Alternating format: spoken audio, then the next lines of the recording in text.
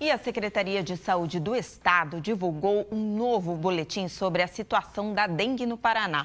Os números vêm acompanhados de um alerta feito pelo Ministério da Saúde.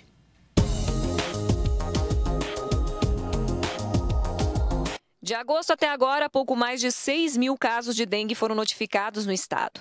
Destes, 4.012 foram descartados, 217 confirmados e o restante ainda aguarda o resultado.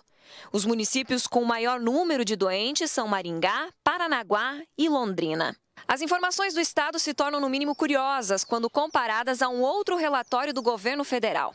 É que a cidade de Jacarezinho, no Norte Pioneiro, por exemplo, não tem nenhum caso de dengue confirmado. E São Miguel do Iguaçu, no oeste do estado, tem apenas três. Ainda assim, de acordo com o Ministério da Saúde, estes dois municípios estão sob risco de epidemia. O motivo? A alta proliferação do Aedes aegypti. Em novembro foi é, realizado o Lira Nacional, que é um levantamento rápido de índice de infestação para a gente saber como é que está a situação do mosquito, se tem muito mosquito ou não.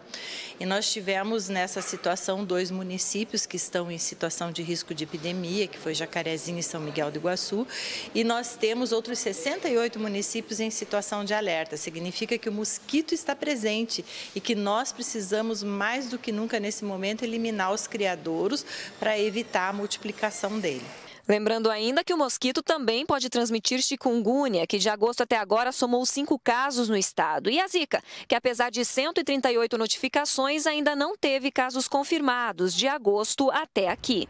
Então é importante a gente saber que a prevenção ainda é a melhor forma, porque são doenças que não têm tratamento, são é, apenas é, sintomático e esse cuidado é muito importante para que a gente não tenha esse risco da introdução de uma tríplice epidemia no estado.